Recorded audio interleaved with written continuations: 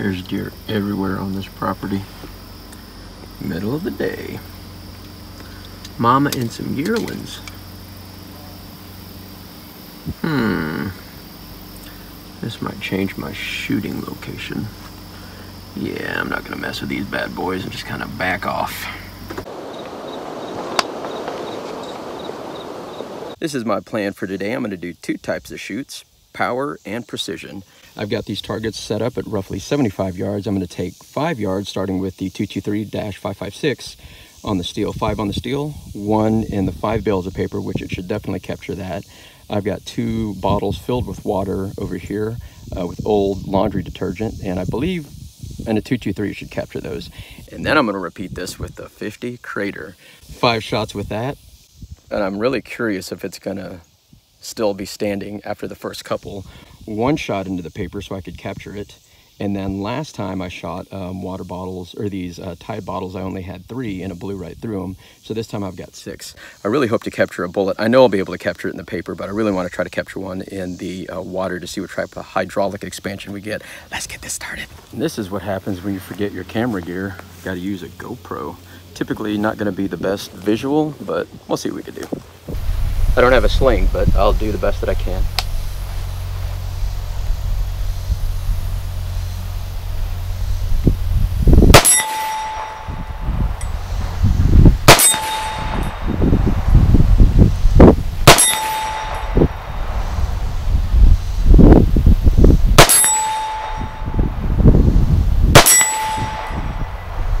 This is going to be tough through the paper.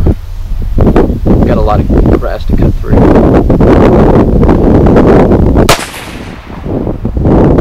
Same thing with the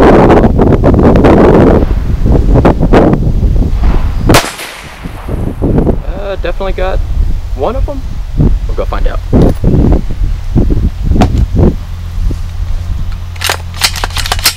I did not put the brass catcher on this one just to see how it's cycling. Hopefully the GoPro will pick that up.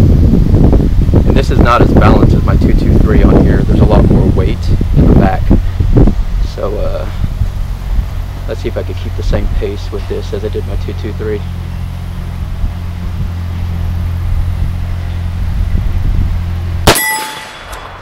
Well, that answers that. Let me do one in the paper here.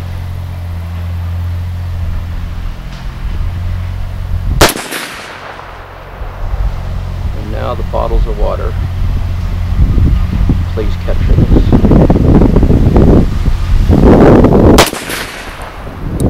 Oh man, I think Let's go see the damage.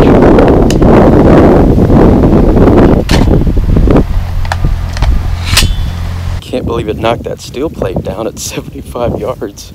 Literally tipped it over. Oh, let's check out the damage here. Oh, I think we caught the bullet. One, two, let's see, one, two, oh, I shaved it, three, nope. God, dog, went through all six of them. One, two, three, four, five. Is it in here? Nope. I definitely got it in the paper though. Look at that. Yeah, no exit, so I finally got a bullet there. But this is what tripped me out the most. It literally knocked that over.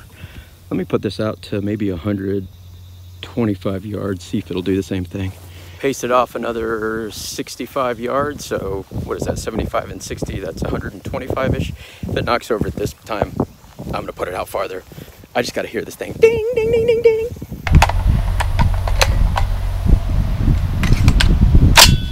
That look good. I'm gonna actually aim low hopefully not tip this thing over.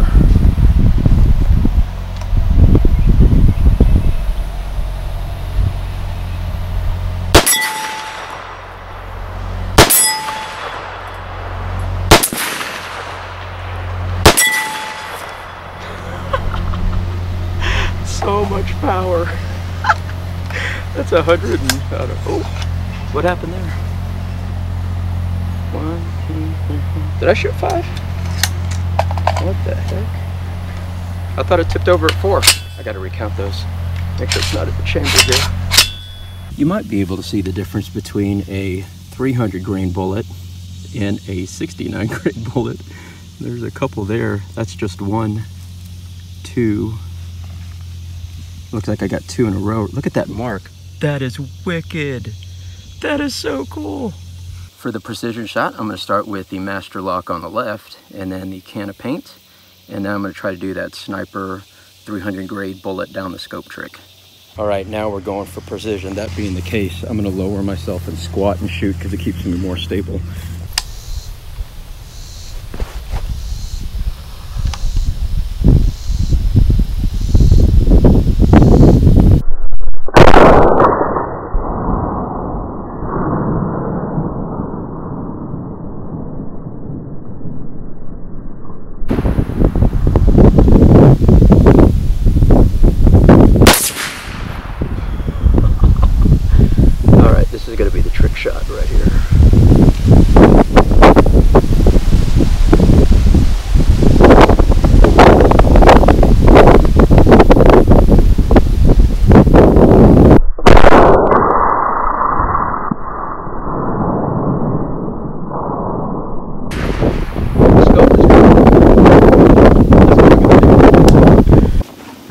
scope. Oh yeah, I don't think that scope's usable. I only nicked it too. It was right there, I nicked it on the bottom. Let's see where the lock went.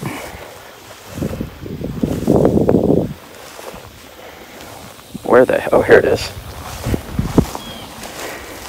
Yeah, that master lock got mastered by a 300 grain bullet. Look at this absolutely devastated it. There's nothing left.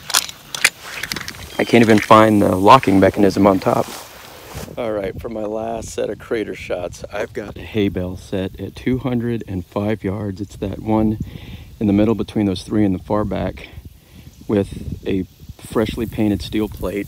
I gotta see if I could pop this thing. I'm just basically gonna aim at the top part of that steel plate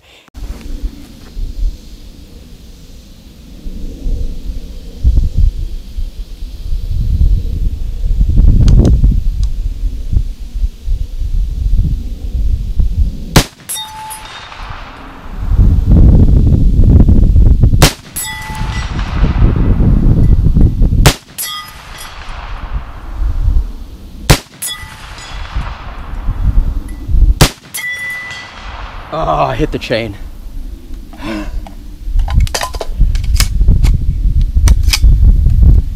To no surprise, the 69 grain Sierra bullet out of the 223 penetrated much deeper than the 300 grain Hornady FTX bullet out of the 50 Krater. The narrow profile will allow it to dive in much deeper, but what was amazing about the 300 uh, FTX bullet is it literally left a two and a quarter inch crater inside of the paper, and this only left a three quarter inch uh, wound track. Here's the results of the 205 yard shot sequence. These were my first two shots. And if you measure this real carefully, you can see that it is just under an inch and a quarter, which is not bad for a bullet that's definitely not designed to travel long range. And of course, the way it was shooting was not the most stable. The next shot pinged down here. This was my fourth shot. And this fifth shot here is the one that knocked it off the steel and I love what the Hornady bullet does there. I'd say the Krater's accurate. I've got to get this 50 Krater back to its owner this week, and I got to tell you, I have had an absolute blast shooting this caliber. One of the first questions that came up before I received this, and I know a question that you guys are going to ask, is what type of recoil does this rifle uh, put out?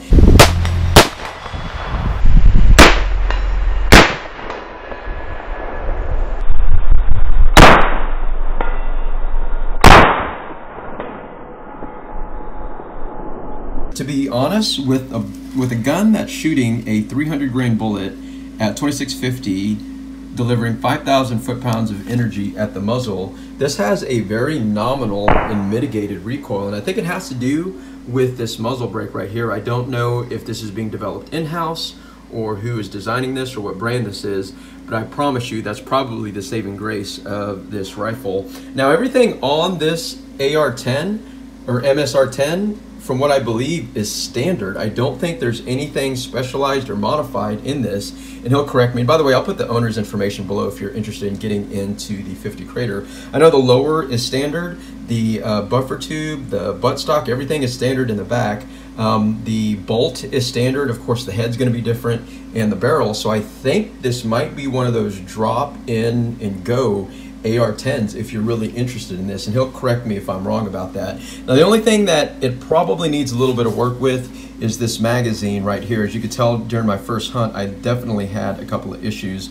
If there is any way to get this as a single stack magazine, because right now it's double stacking, and um, what happens is after I get it past bullet number seven or eight, it really starts to get wonky. And let me show you what I'm talking about.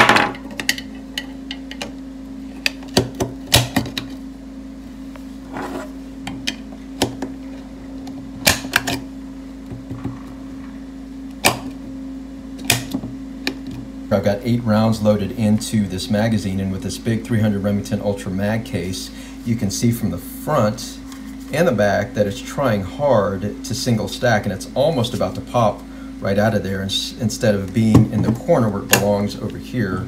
Um, and I can actually feed that, it actually went well there, and I could try to get this into the chamber, but what happens is when I start feeding this, this bullet starts wiggling around and it refuses to feed into the chamber properly. So the easy fix would be only load five rounds into your magazine, and I've had no problems with that, or to figure out a way to get a single stack magazine for these big monster bullets. If you're into big bore calibers, I invite you to step into the 50 Krater. This thing has been an absolute joy to shoot with very nominal recoil, and this thing has been dead on accurate.